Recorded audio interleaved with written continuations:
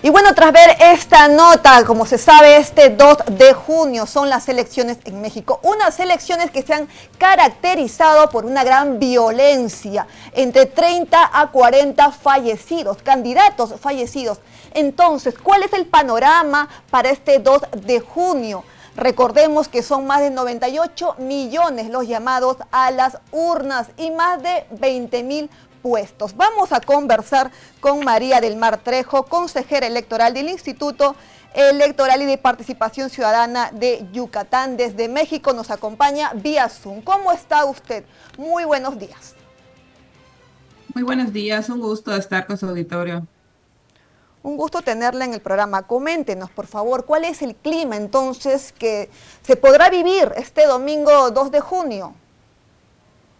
Pues mire, la verdad es que aquí en México estamos, sí lamentamos los hechos, ¿no? Que se comentan que, que, ha, habido, pues, con las candidaturas, eh, lamentablemente, eh, que han perdido la vida incluso por estar en, en, todos los procesos electorales, lo cual debería ser un derecho eh, donde esté protegida la vida y todos los derechos humanos de las personas, ¿no? Entonces, las autoridades electorales, lo que hemos hecho en México, en el Sistema Nacional Electoral, tanto el Instituto Nacional Electoral como las 32 entidades federativas que todos tenemos elección eh, en este proceso. Hemos trabajado en conjunto eh, en mesas de trabajo y organizándonos con las autoridades eh, que ven la seguridad pública en cada una de las entidades federativas y a nivel nacional. Entonces se han hecho mesas, se, ha, se, han dado protección a las candidaturas que lo han solicitado y eso ha sido en lo que estamos trabajando para poder tener este 2 de junio una jornada electoral pues eh, lo más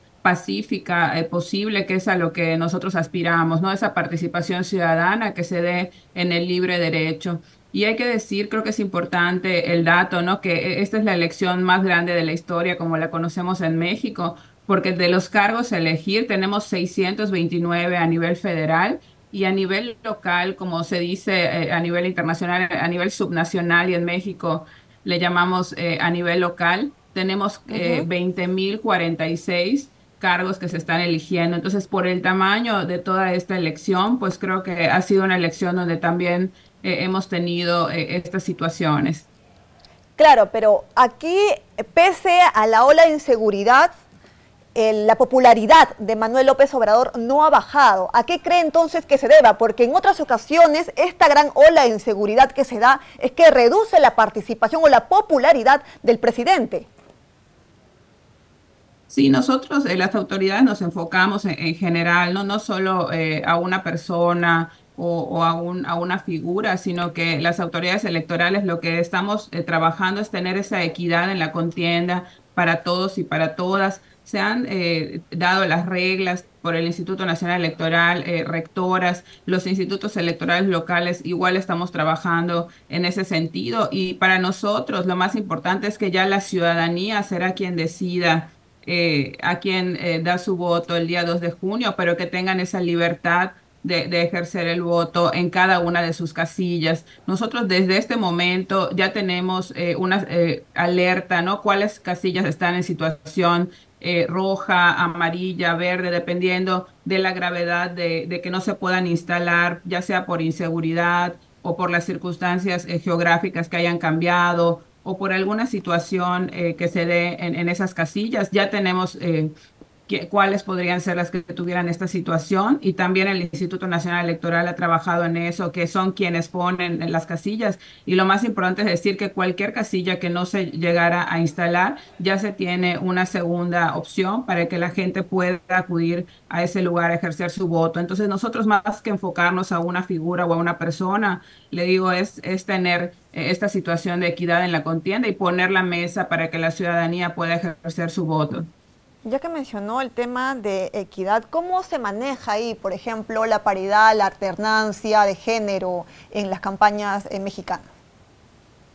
Miren, creo que en México vamos de avanzada en este tema porque eh, nosotros el tema de, paridad de género y de sobre todo una igualdad sustantiva se ejerce en diferentes factores. Nosotros eh, ya tenemos reglamentado por el Instituto Nacional Electoral y, y, también lineamientos en los institutos electorales locales, donde eh, la equidad no es solo este número paritario de 50-50, sino que además se tiene que ver si se les está dando a las candidatas el mismo eh, dinero para sus campañas que se les da a los varones. Eh, se, está, se tiene que ver si el, tema de los spots, los comerciales y todo esto que acá en México está muy regulado, también hay una paridad eh, en, ese tema y no se le dé más a, a, hombres que a mujeres, ¿no? Entonces, tener esa paridad en todos los aspectos, porque muchas veces hablamos de paridad solo en la postulación de las candidaturas, pero en México ya estamos a otro nivel. No solo es en la postulación, sino también eh, en el ejercicio del cargo, cuando ya lo están ejerciendo, ¿no? Que tengan esa, esa misma apertura, esas mismas eh, oportunidades y sobre todo de ejercerlo libre de cualquier tipo de violencia política contra las mujeres en razón de género ha habido en, en, México en diferentes institutos, incluso en el Instituto de Yucatán, en, el Instituto Nacional Electoral, apenas ayer daba eh, una de las consejeras un informe donde eh, se han presentado quejas eh, por el tema de violencia política contra las mujeres en razón de género y sobre todo ha sido a nivel mediático en las redes sociales porque ya la violencia digital pues ha crecido, ¿no? Entonces estas quejas se han estado atendiendo, se tienen eh, protección eh, para las candidatas, el tema de, no revictimizarlas. Entonces creo que la, paridad o esta eh, igualdad sustantiva de las mujeres y hombres tiene diferentes aristas y se han atendido desde diferentes sectores. En ese sentido, Claudia Sheinbaum, como se sabe, está liderando las encuestas. Posiblemente podría ser la próxima presidenta de México. ¿Tiene un significado esto de que una mujer esté ahorita liderando las encuestas más del 50%? la verdad es que tenemos este, dos candidatas eh, mujeres y creo que para México sería una excelente noticia ¿no? que, que quede una de las mujeres encabezando por primera vez en nuestro Poder Ejecutivo Federal y creo que pues ya la ciudadanía será quien decida en ese momento porque sabemos que las encuestas pues son eh, un referente, pero pues no sabemos el 2 de junio qué es lo que pueda suceder y nosotros estaremos a la espera de poder ver eh, cómo se va a realizar la votación y además eh, ver también con los cómputos municipales, distritales y los cómputos que se realizan en los consejos que están son órganos desconcentrados de las instituciones donde ya se realizará pues toda esta logística para, para poder ver quién queda, pero creo que sería una excelente noticia que quede una mujer. Claro, es para este domingo 2 de junio, ¿cómo se está manejando en el tema de seguridad? ¿Habrá mayor resguardo de repente por todo lo que ha sucedido, estos acontecimientos?